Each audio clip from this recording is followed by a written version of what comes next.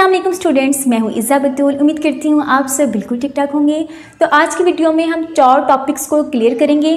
First topic ये है कि आप बोर्ड एग्ज़ाम्स में टाइम को किस तरह मैनेज कर सकते हैं। क्योंकि अगर आप लोग अभी से प्रैक्टिस स्टार्ट करेंगे तो बोर्ड एग्ज़ाम्स तक आप लोग परफेक्ट हो जाएँगे। दूसरा टॉपिक ये है कि बोर्ड आंसर शीट के जो पेजेस हैं उन पर हम अपने पेपर को किस तरह सॉल्व करें, किस तरह मैनेज करें? क्योंकि आंसर शीट के अलावा आपको एक्स्ट्रा पेजेस नहीं मिलेंगे। तो हमें क्या पैटर्न अपनाना चाहिए कि हम आंसर शीट के अलावा हमें नेक्स्ट पेजेस की ज़रूरत एक्स्ट्रा पेजेस की ज़रूरत ना पड़े? थर्ड टॉपिक ये है कि एक्स्ट्रा क्वेश्चंस के बारे में हम लोग डिस्कस करेंगे। और लास्ट टॉपिक ये है कि शॉर्ट क्वेश्चंस की लेंथ कितनी होनी चाहिए? तो सबसे पहले बात करती हैं कि बोर्ड एग्ज़ाम्स में हम लोग टाइम को किस तरह मैनेज करेंगे? इजीली हमारा पेपर भी सॉल्व हो जाए, हमारी राइटिंग भी अच्छी हो जाए और हमें किसी मुश्किल का सामना ना करना पड़े। सबसे पहले मैं आपको अपनी एग्जांपल देती हूँ। मेरे फ़र्स्ट ईयर में अल्हम्दुलिल्लाह उर्दू में इस तरह मैंने टाइम को मैनेज किया था कि मेरे फाइव मिनट्स बच गए थे और उन फाइव मिनट्स मैंने पेपर को एक दफ़ा सारा रीड किया था। लेकिन इसके बरक्स मेरे फिज़िक्स में इस तरह पेपर को सॉल्व किया था कि मेरे पास सिर्फ़ तीन पेजेस पड़े थे जिसमें मैंने अपने लॉन्ग क्वेश्चन अटैम्प्ट करने थे। मैंने अपनी मिस्टेक्स से क्या सीखा, मैं इंशाल्लाह उस हवाले से भी आपको सारा गाइड करूँगी। तो टाइम को मैनेज करने के लिए मैंने यहाँ पे कुछ पॉइंट्स बनाए हैं। फ़र्स्ट पॉइंट ये है कि आपके पास उतने मार्कर्स पॉइंटर्स या पेन्स हो जितने आप इजीली कैरी कर सकते हैं, जिनसे आप पहले प्रैक्टिस कर चुके हैं। ये ना हो आपको कट मार्कर से लिखना ना आता हो और आप बोर्ड के पेपर में कट मार्कर लेके जा रही हों और वहाँ पर वो मार्कर्स पहली दफ़ा यूज़ करें। तो मेरा मशवरा ये है कि उतनी चीज़ें कैरी करें, उतनी चीज़ें अपने जोमेट्री बॉक्स में डालें जो आपके लिए कैरी करना आसान है, जिससे आप इजीली पेपर भी अटैम्प्ट कर सकें। सेकेंड एंड मोस्ट इंपॉर्टेंट चीज़ आपकी जो राइटिंग है, वो बहुत ज़्यादा मैटर करती है टाइम मैनेजमेंट में। आपका जो वर्ड्स का साइज़ है, वो ना तो ज़्यादा छोटा होना चाहिए, ना ही आप ज़्यादा खुला खुला लिखें। बिल्कुल मीडियम साइज़ की आपकी राइटिंग होनी चाहिए, इस चीज़ की आपने पहले प्रैक्टिस कर लेनी है। अब आप लोगों ने अच्छे मार्कर्स भी ले लिए, उनसे आपको लिखना भी आ गया, आप लोगों ने वर्ड्स का साइज़ भी अरेंज कर लिया।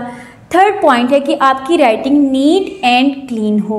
राइटिंग आपकी इस तरह की होनी चाहिए कि चेकर को आपकी समझ जाए, आपको अपनी राइटिंग भी समझ जाए। ये ये भी नहीं ज़रूरी कि फ़र्स्ट क्लास राइटिंग हो, बहुत प्यारी हो, और ये भी नहीं ज़रूरी कि बहुत ज़्यादा गंदी हो। आपकी राइटिंग नीट एंड क्लीन होनी चाहिए, पेपर प्रेजेंटेशन नॉर्मल होनी चाहिए, ज़्यादा बेस्ट की तरफ़ ना जाएँ, ज़्यादा चीज़ों को हाईलाइट ना करें, ज़्यादा चीज़ों को प्रोमिनेंट ना करें सिंपल सिंपल चीज़ों को हाईलाइट करें। नेक्स्ट पॉइंट है कि अब आपने अपने आप को अच्छा सा अरेंज कर लिया राइटिंग भी आपने बेस्ट कर ली मार्कर्स भी ले लिए।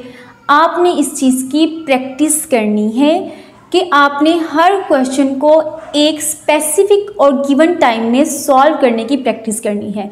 प्यारे बच्चों आप अगर इसकी प्रैक्टिस कर लेना तो आप यकीन जानिए आपका आ, आपकी आधी परेशानी ख़त्म हो जाए। जैसे फॉर एग्ज़ाम्पल आपने लॉन्ग क्वेश्चन को अपने माइंड में सेट करना है कि अच्छा मैंने लॉन्ग क्वेश्चन को 20 मिनट में सॉल्व करना है मैं आपको एक एग्ज़ाम्पल दे रही हूँ। तो आपने टाइम के अकॉर्डिंग उसको 20 मिनट में सॉल्व करना है। फ़र्स्ट डे आप 25 मिनट्स में करेंगे सेकंड डे आपको 23 मिनट्स में हो जाएगा।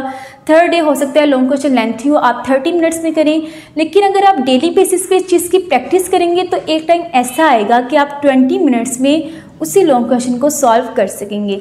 तो बोर्ड एग्ज़ाम्स में जाने से पहले कम से कम दो से तीन हफ़्ते पहले इस चीज़ की प्रैक्टिस करें कि एक गिवन क्वेश्चन को उसके गिवन टाइम में आपने सॉल्व करना है। अपने पास एक वॉच रख लें। जैसे ही टाइम ख़त्म होगा आप, आपने लिखना छोड़ देना है।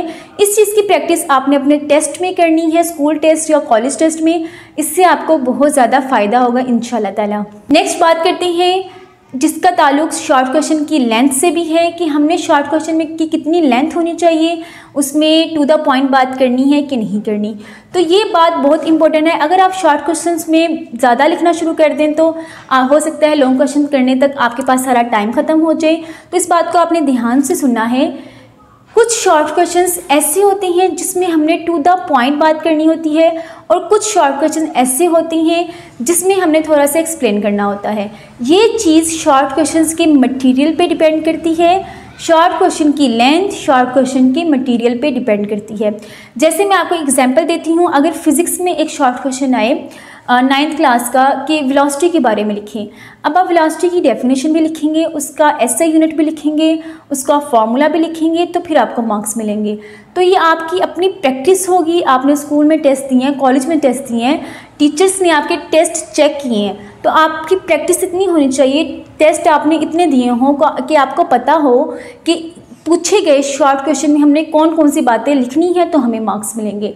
कोशिश करें ख़ास तौर पे आर्ट्स सब्जेक्ट्स जिसमें उर्दू इस्लामियत और पाक स्टडी होता है टू द पॉइंट बात लिखें। ये नहीं कि उर्दू में उन्होंने एक सवाल पूछा तो आप उसको पाँच छः लाइनों में कवर कर रही हैं और पूरी तशरी बना दी। ऐसे नहीं करना टू द पॉइंट बात करनी है। टू मार्क्स का शॉर्ट क्वेश्चन होता है। अपने मटेरियल के अकॉर्डिंग शॉर्ट क्वेश्चन को अटैम्प्ट करना है। शॉर्ट क्वेश्चन की लेंथ आपने कभी भी अपने जहन में स्पेसिफिक नहीं करनी। शॉर्ट क्वेश्चन की लेंथ हर शॉर्ट क्वेश्चन के मटेरियल के अकॉर्डिंग डिफरेंट होती है। अब यहाँ पे एक बात बहुत मैटर करती है। चेकर को नहीं पता कि आपने रातों को जाग जाग के मेहनत की है, आपने ढेरों टेस्ट दी हैं अपनी तरफ़ से आप बेस्ट परफॉर्म कर रही हैं। चेकर के सामने आपके पास चंद शीट्स का पेपर है, जिसको उसने चेक करके आपके, आपको मार्क्स देने हैं। तो आपका पेपर इस तरह का होना चाहिए, आपका शॉर्ट क्वेश्चन इस तरह का होना चाहिए कि चेक कर इम्प्रेस हो जाए। अब आपने यहाँ पे एक बात सोचनी है, मैं भी ये सोचती थी, मैं आपको बताती हूँ, थोड़ी सी फ़नी बात है। मैं ये सोचती थी, जो चेकर है ना, वो दुश्मन है हमारा, उसने हमारे मार्क्स किसी किसी तरह कट करने हैं। तो हमने इस तरह का मटेरियल पेश करना है कि या तो ओवर भी ना हो और उसको ये भी ना लगे कि हमने कम बातें बताई हैं। वो आपको मार्क्स देने पे मजबूर हो जाए। तो ओवर राइटिंग की तरफ़ भी नहीं जाना और ज़्यादा शॉर्टकट की तरफ़ भी नहीं जाना। हर बात को टू द पॉइंट बताना है और हर चीज़ को प्रोमिनेंट करके बताना है कि चेकर को लगे कि इस बच्चे को आता है, वो आपको मार्क्स देने पे मजबूर हो जाए। अब बात करते हैं कि अगर हम खुला खुला लिखना शुरू कर दें, हर शॉर्ट क्वेश्चन को एक्सप्लेन करना शुरू कर दें तो हमारी जो बोर्ड आंसर शीट है, उसके पेजेस कम हो जाएँगे।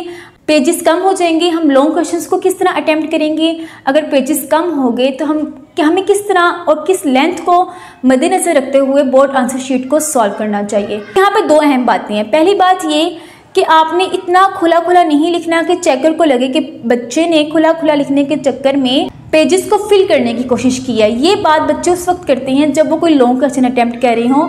जैसे पाक स्टडी का लॉन्ग क्वेश्चन हो गया इस्लामियत का हो गया, वो खुला खुला लिखते हैं बड़ी बड़ी हेडिंग्स बनाते हैं, चीज़ों को बहुत ज़्यादा प्रोमिनेंट कर देते हैं। ये चीज़ नेगेटिविटी की तरफ़ जाती है और आपके मार्क्स डिटेक्ट हो सकते हैं। आपने पेपर इस तरह करना है कि जब चेकर आपका पेपर देखे, उसको लगे हाँ वाकई इस बच्चे ने हर चीज़ को अच्छी तरह फिल किया हुआ है। आपका पेपर ना ज़रा फिल फिल लगे। आपका पेपर खाली खाली ना लगे। ऐसे लगे कि बच्चे ने काफ़ी चीज़ें लिखी हुई हैं। अच्छा ये भी लिखा है अच्छा ये भी लिखा है। चेकर के जहन में ये बात होनी चाहिए। ये चीज़ उस वक्त होगी जब आप प्रैक्टिस करेंगे टाइम के अकॉर्डिंग अपने लॉन्ग क्वेश्चंस को अटैम्प्ट करेंगे। अब चलते हैं जी एक्स्ट्रा क्वेश्चंस की तरफ़ कि क्या हमें एक्स्ट्रा क्वेश्चंस पेपर में अटैम्प्ट करने चाहिए? क्योंकि एक्स्ट्रा क्वेश्चन करने से भी टाइम में ज़रूर असर पड़ेगा टाइम हो सकता है आपसे मैनेज ना हो, आपके अकॉर्डिंग मैनेज ना हो रहा हो। तो एक्स्ट्रा क्वेश्चंस मेरा और जो मेरे टीचर्स मुझे हमेशा कहते थे, मैं आपको वही तरीका बताऊँगी। चेकर जो सा होता है ना, सच्ची बात बताती हूँ। जो चेकर्स होते हैं ना, उसको पेपर चेक करने के पैसे मिलते हैं। अब वो जितना जल्दी पेपर चेक करेगा, उतने ही ज़्यादा उसको पैसे मिलेंगे। तो अब अब हमें नहीं पता वहाँ पे जो चेकर बैठा है वो हमारे एक्स्ट्रा क्वेश्चन चेक करता है या नहीं करता। अगर वो नहीं भी करेगा ना तो हम उसका कुछ नहीं बिगाड़ सकते। रीचेकिंग तो बात की बात है ना लेकिन अगर वो चेक नहीं करता तो हम उसका कुछ नहीं बिगाड़ सकते। आप लोगों ने एक्स्ट्रा क्वेश्चंस में फोकस नहीं करना आप लोगों ने फोकस करना है तो उन क्वेश्चंस में जो आपने अटैम्प्ट करने हैं। लाइक like, अगर टेन क्वेश्चंस आए हैं जिसमें से छः अटैम्प्ट करने हैं और फोर एक्स्ट्रा क्वेश्चंस हैं। वो फ़र्स्ट छः क्वेश्चंस आपके इतने बेस्ट होने चाहिए कि आप बिल्कुल आपको यकीन हो कि अब मुझे एक्स्ट्रा क्वेश्चंस करने की ज़रूरत नहीं है। बिल्कुल आपको यकीन हो मेरे वो छः सवाल ठीक है। अगर आपके जहन में ये बात है तो समझिए आपके लिए बेस्ट है। स्टूडेंट समझते हैं कि हम चार चार वो आके बताते हैं, हम चार चार एक्स्ट्रा करके आए हैं, हम पाँच पाँच एक्स्ट्रा क्वेश्चन करके आए हैं। तो प्यारे बच्चों, ये मैटर नहीं करता कि आपने चार सवाल एक्स्ट्रा किए, आपने पाँच सवाल एक्स्ट्रा किए। मैटर ये करता है कि जो आपने फ़र्स्ट क्वेश्चंस अटेम्प्ट किए हैं, जो एक्स्ट्रा नहीं थे, वो आपके ठीक है या नहीं है? अब स्टूडेंट्स बात करते हैं कि अगर मैम हमें कैसे पता चलेगा वो ठीक है या नहीं है, वहाँ कौन सा बैठ के चेक कर रहे होते हैं बुक लेके गए होते हैं? तो आप लोगों ने क्या करना है? अगर छः सवाल छः सवाल अटैम्प्ट करने हैं ना, एक एक्स्ट्रा कर दें, ठीक है? एक कर दें या एक या दो कर दें। मैक्सिमम दो शॉर्ट क्वेश्चंस आप एक्स्ट्रा करें। इससे ज़्यादा एक्स्ट्रा ना करें। एक तो इससे टाइम भी आपका मैनेज नहीं होगा। दूसरा जो बोर्ड आंसर शीट है, हो सकता है वो आपके लिए कम पड़ जाए।